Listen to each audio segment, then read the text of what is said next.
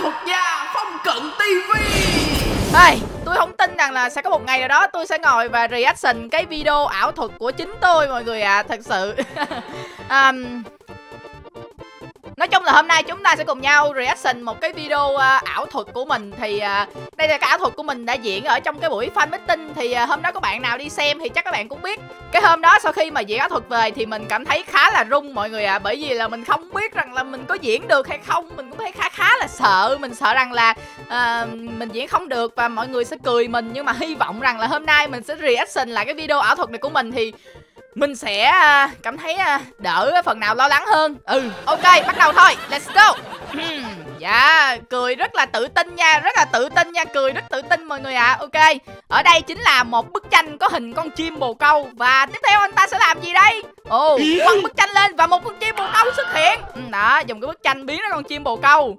Và sau đó sẽ làm gì đây? Ồ lấy một cái à, ống ra và cái ống này có một cái uh, chổi lông gà. Nhét cái chổi lông gà vào bên trong. Ok. Hồ biến một cái nè. Rồi rút ra được cái gì đây? Wow, một cây dù. Wow quá là hợp lý luôn.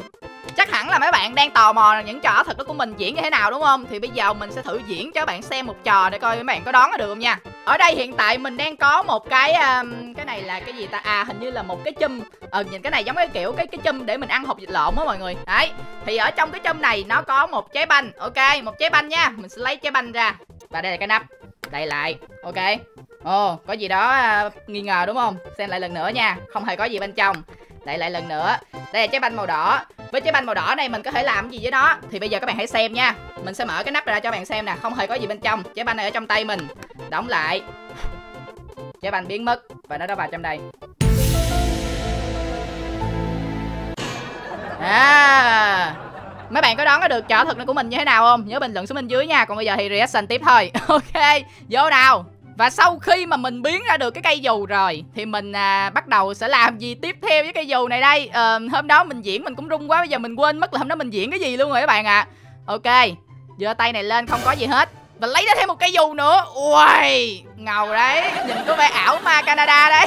Tiếp theo đó thì mình giơ cái tay của mình lên Và ui cái tay của mình nó bốc khói kìa bạn thấy không? Đấy Thật ra các bạn Thật ra là nó có một cái máy để tạo khói á bạn. Mấy bạn để ý trên cổ tay của mình nè Thấy cái cục gì đen đen không? Thật ra đó chính là một cái máy để tạo khói đó Nhìn cho nó huyền ảo hơn thôi. Và ở trên tay của mình hiện tại cũng đang cầm là một uh, bó hoa. Ừ một bó hoa. Và bây giờ mình sẽ làm cái gì với bó hoa này nha uhm, Cái tay của mình bắt đầu bốc khói và Úm la! Ui các bạn thấy hay không? Bạn thấy bạn thấy ảo không? Ảo thuật là một cái gì đó nó rất là ảo luôn các bạn, mà bởi vì nó có chữ ảo đằng trước đó.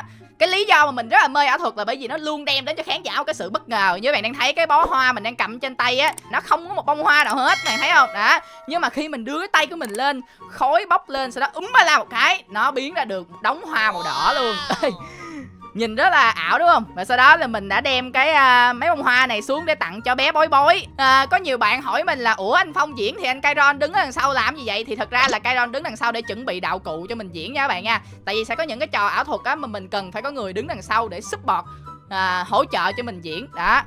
Thì Kairon á lên trên đó Kairon bảo với mình á là Kairon cảm thấy rất là rung luôn. Bởi vì Kairon rất là sợ rằng Kairon sẽ làm sai. Kairon mà làm sai cái ha là cả hai đứa bị quê trên sân khấu luôn các bạn. Um, thật sự là nghĩ nếu như mà lúc đó mình làm sai thì chắc chắn là sẽ quê lắm luôn trời. Ok sau đó là mình đã lấy ra một cái quyển sách. Các bạn nhìn cái quyển sách này quen không? Trong cái ảo thuật mà fan meeting hai năm trước các bạn thì mình cũng có sử dụng đến cái quyển sách này. Thì như các bạn thấy nè mình sẽ mở quyển sách ra và lửa nó cháy. Và sau đó là mình làm cái gì đây? Hất lên một con chim bồ câu xuất hiện. Ê, nhưng mà tính ra nha là con chim bồ câu nó phải bay lên thì nó mới đẹp mấy bạn ạ. À. nhưng mà các bạn để ý nè đó, bạn thấy không? Con chim bồ câu nó bị rớt xuống đất. Trời ơi, thiệt luôn á. Cái pha mình đúng tiếc luôn á. Bạn bạn để ý nè. Con chim bồ câu lúc mình hất lên nè, là nó bị rơi xuống đất các bạn ơi. Nó không bay lên. Chứ nếu mà nó bay lên á thì rất là đẹp luôn các bạn mình mới vừa tìm lại cái video ảo thuật fan meeting lần một của mình thì à, mình cũng có thấy cái quyển sách này thì để mình coi coi mình sẽ diễn cái gì với cái quyển sách này nha. À năm trước mình nhớ rồi. Năm trước là mình không có à, mở quyển sách và nó ra lửa, mà mình dùng cái quyển sách này mình vẽ lên hình một con chim bồ câu. Đấy, bạn coi nè. Đấy, mình sẽ vẽ lên trên đó một cái hình con chim bồ câu. Ôi, tính ra mình cũng vẽ đẹp ấy chứ nha nhìn cũng ra hình con chim bồ câu nè. Đó, vẽ ra hình con chim bồ câu nè sau đó là mình sẽ bắt đầu hất nó lên và một con chim bồ câu sẽ xuất hiện. Bùm chiêu đó bạn thấy không? Trời ơi! Con chim bồ câu nó phải bay lên như vậy thì nó mới đẹp. Các bạn nhìn nè, con chim bồ câu hất lên nó bay lên nè. Đó. Trời ơi, nó bay lên thì nhìn sẽ, nó sẽ cực kỳ đẹp luôn, nhưng mà tiếc quá. Trời ơi, con chim bồ câu mình diễn năm nay nó lại không bay lên mà nó rơi xuống đất chứ.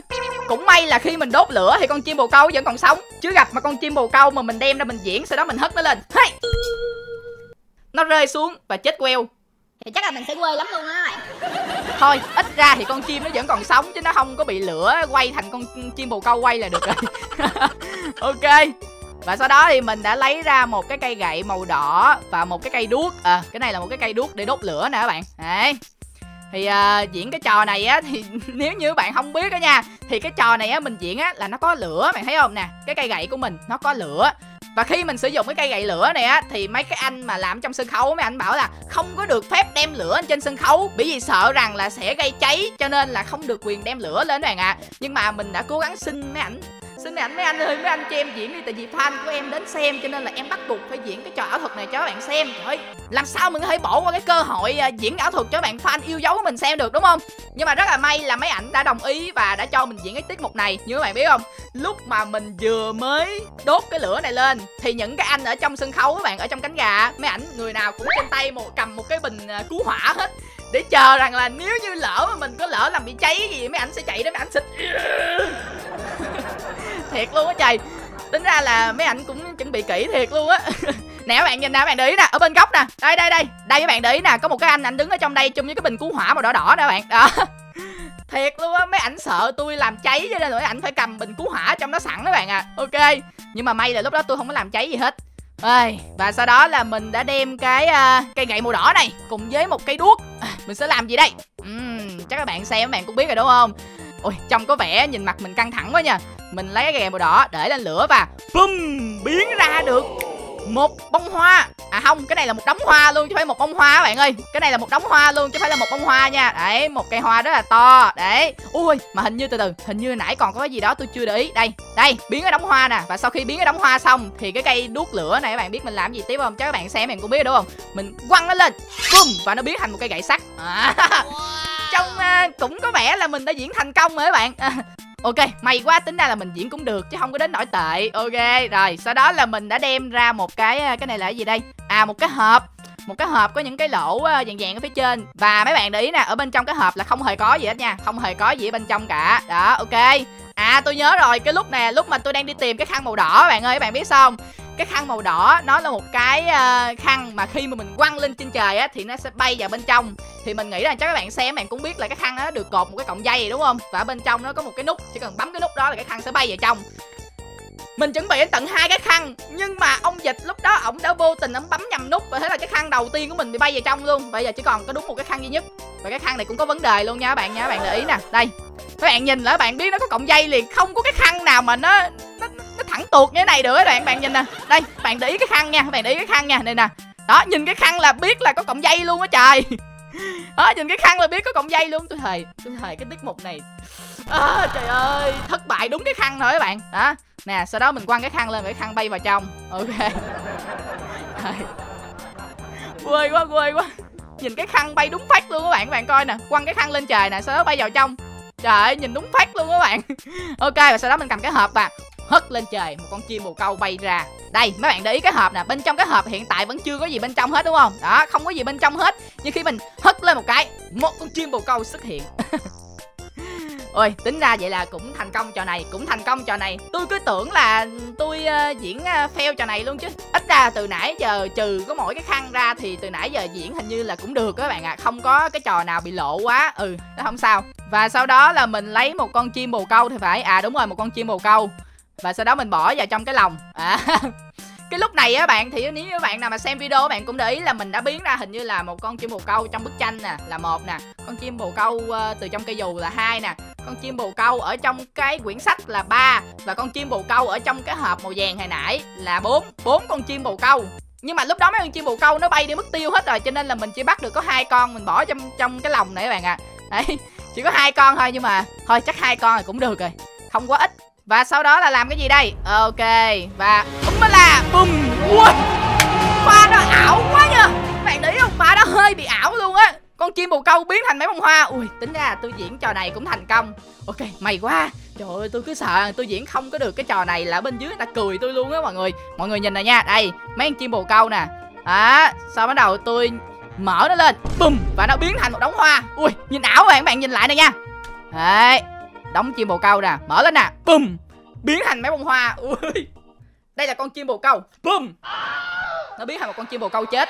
Và lúc này thì tôi đã diễn xong rồi nè. Tôi đem cái đống hoa ra và chào tạm biệt nếu như mà nói đúng ra thì mình cũng diễn thành công mà đúng không các bạn? Cũng có một vài tiết mục nó hơi trục chặt chút xíu là nó hơi bị lộ thôi Nhưng mà dường như là mình cũng đã diễn thành công rồi đúng không? Mình nghĩ rằng là chắc là tiết mục ảo thuật của mình như thế này nó cũng tạm được. Ừ nó không quá hay nhưng mà chắc là nó cũng tạm được các bạn à Ok cũng không sao. Tôi sẽ cho mấy bạn xem một cái video ảo thuật của tôi. Cách đây à, bao nhiêu năm ta? 2016 à đây có một cái bảng nè. 2016 thì à, hôm nay năm nay là 2023 rồi. Ui tính ra là 7 năm rồi các bạn ạ. À. Đây chính là một cái video diễn ảo thuật của tôi lúc mà tôi còn đi học nha. Thì cái năm nay hình như là năm mà tôi mới học lớp 8, lớp 9 gì đó thì phải. À hình như lớp này là lớp 9 Thì cái lúc này á là tôi à, đã đam mê ảo thuật rồi các bạn ạ. À. Và tôi đã diễn ở trên trường rồi nha. Đấy tôi đã diễn ở trên trường rồi. Lúc này diễn á có mấy bạn học sinh đứng ở bên đây nè Nhìn á. Tôi cảm giác tôi ngầu các bạn. Tôi cũng thấy tôi ngầu á. Mặc dù những tiết mục ảo thuật của tôi nó cũng không quá là hay tại lúc này á là tôi chưa có tiền để tôi mua đạo cụ ảo thuật mà tôi uh, sử dụng những cái đồ thật tự chế. Đó cũng có một hai món là mua nhưng mà đa phần là tự chế các bạn ạ. À. ôi năm trước đã có cái trò rút giấy ra ra từ miệng rồi nè. Thiệt luôn á trời nhìn. Nhiều lúc á các bạn tôi xem video này á tôi cảm thấy uh, hơi mắc cười chút xíu. Bởi vì lúc này á tôi còn uh, kiểu uh, diễn chưa được hay á nhưng mà tôi cũng cảm thấy khá là vui bởi vì là ít ra cũng có người quay lại cái video lúc mà tôi diễn từ năm 2016 như thế này. Để tôi có được một cái video kỷ niệm để tôi xem lại mọi người ạ. À. đấy. Ôi mà thời lúa ngày xưa tại sao? Ngày xưa tại sao tôi lại nghĩ ra được cái style phong cách đeo kính trắng vậy? Nhìn đúng kỳ cục luôn á. Tại sao lại đeo kính màu trắng ta? Tính ra cái kính của tôi lúc này tròn tròn cái này, đeo cái này thì nhìn nó lại đẹp mấy bạn nhỉ? Ê, sam sam. Vô đây. Sam sam, vô đây, sam. Sam nhìn phong lúc này à, phong gì á thực năm 2016 nè sam thấy phong đeo cái mắt kính màu trắng nhìn đẹp trai không? Không. Đẹp trai không? Không, không đẹp trai hả? Vậy giờ đẹp trai không? Nào người hãy nói hết để anh quay lưng bước đi. Ok. Được đẹp trai đẹp trai. Ok vậy được Mấy bạn để ý nha Đây là năm 2016 Là cái lúc mà tôi còn đi học nè. Nhìn tôi lúc đó da còn hơi đen đen nè. Đó, Tóc thì còn để dài Đeo mắt kính màu trắng nữa. Ui, Có thể nào Có thể nào ai đó tháo mắt kính màu trắng ra được không? Còn đây là tôi của hai năm trước nha các bạn nha. Đây lúc này thì nhìn đã trắng trẻo hơn Đó tóc đã bắt đầu cắt gọn gàng hơn Đó. Và nhìn cũng đẹp trai hơn nữa nha nhìn cũng đẹp trai hơn. À cũng cao ráo các bạn để ý thì mình trong mình cũng khá là cao ráo đó còn đây chính là mình hiện tại bây giờ. Ừ nhìn có vẻ là nhợm tóc nè tóc đẹp hơn nè da trắng hơn nè và mập hơn. Ừ và mập hơn. Nhưng mà chắc là nhìn cũng uh, đẹp trai mà nhỉ? Nhìn chắc là cũng ổn không không quá mức là bị uh, mập quá. Nè bây giờ sam coi phong diện áo thuật. lúc tao tóc đẹp trai vậy? Lưu lại lưu lại đi. Gì? Giờ tí dừng nha. Dừng lại sao? Đẹp trai. Tóc đẹp trai hả? Ờ, tóc Trời ơi, tôi không đẹp trai đẹp trai. Nè bây giờ sam nhìn nha sam coi nha. Bây giờ nè phong đang cầm cây dù trên tay đúng không? Bây giờ phong úm ba la nè sam nhìn nè úm ba la một cái nè ra hai cây dù nè. Đấy sao được? Bùm đó. Phong đố sam là cái cây dù kia phong để ở đâu? Ông để trong nách đúng không? Chứ sao? Chứ tôi là điện nách chứ để gì trời? Thôi dẹp đi. Thôi dẹp đi. Cái gì vậy đúng mà.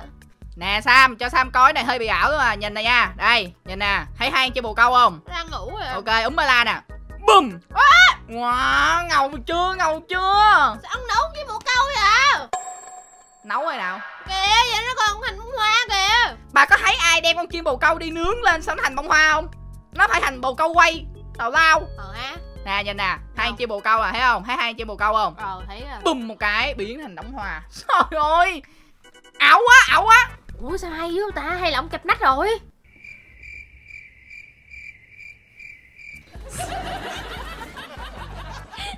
Sao mà sao mà cái gì đối với bà cũng là kẹp nách vậy? Tại- làm sao tôi lấy hai con chim bồ câu tôi kẹp vô nách tôi được? Thì cái nách ông to kẹp vô được cái bộ.